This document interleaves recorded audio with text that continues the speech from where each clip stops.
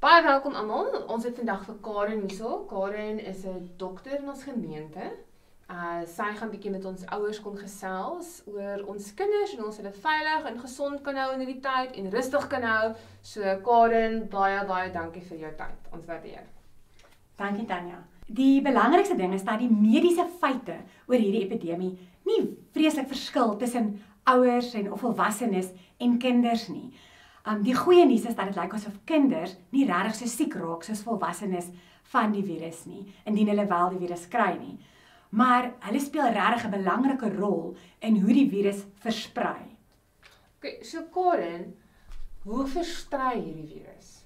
So die koronavirus versprei met druppelverspreiding. So dit beteken dat wanneer iemand wat wel siek is van die virus, hoes of nies en dit is bo op jou, dan kan jy siek raak en geïnfekteerd raak met die virus. Dit kan ook gebeur dat iemand wat wel die virus het, hoes of nies bo op 'n ander oppervlakte soos 'n tafel, handvatsels, deurhandvatsels, trapreëlings. Um en selfs al vat mens daaraan, as jy jou hande skoon was en um met hand sanitizer of ordentlik was, dan kan die virus nog steeds nie van daar af versprei nie. Maar indien jy aan so 'n oppervlakte vat en jy vat aan jou gesig, dan kan jy wel geïnfekteer raak met die virus. So, so Karen, wat kan ons as ouers doen om hierdie verspreiding van die virus te beperk?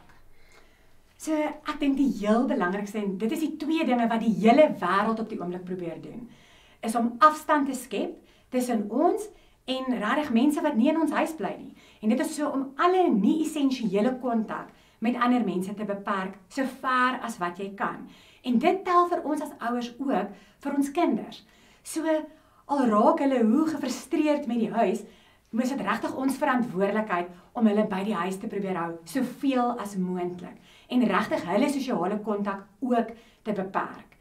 Um en die tweede ding is dan wat ek reeds genoem het dat ons ons hande sal was wanneer ons inkom van buite van die huis af, onmiddellik ons hande te was, um maak seker julle kinders was vir 'n volle 20 sekondes hulle hande of um as mens nie kan was nie gebruik 'n hand sanitizer met 70% of ten minste 70% alkohol um sodat as daar wel kontak met die virus op hulle hande was of op jou hande dat dit um die virus dan dood is en nie verder in jou huis kan versprei nie. Dankie Karen. Nou nog 'n ding is, hoe kan ek na my kind se gesondheid kyk in hierdie tyd? Tanya, ek dink die belangrikste daar is dat ons die gewone dinge moet doen om na jou kind se fisiese gesondheid te kyk. Maak seker hulle eet gesonde kos. Um maar gee tog vir hulle 'n lekkertjie want dit is sleg om by die huis te wees. So um ek dink daar's 'n balans. Moenie moenie net dinge nie lekker aan die maak dinge lekker om by die huis te wees. Maak seker dit is vir hulle lekker om daar te wees. Um maak seker hulle slaap genoeg. Maak seker hulle kry genoeg oefening. Um dat hulle regtig buite tyd sal hê, dat hulle bietjie in die vars lug hardloop, swem, um sodat hulle van hulle energie nog steeds ontslae kan raak. Maar tweedens dink ek dit is regtig belangrik om na ons kinders se emosionele gesondheid te kyk op hierdie stadium.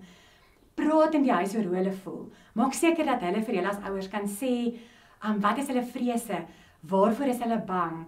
En um ja, fasiliteer daardie gesprek. Die ander ding wat ek sal sê is maak seker dat hulle wel sosiale uh, media gebruik op 'n slim manier. Laat hulle op WhatsApp met hulle vriende of hulle maats um video calls doen, dat hulle mekaar kan sien en dat almal kan sien almal is okay.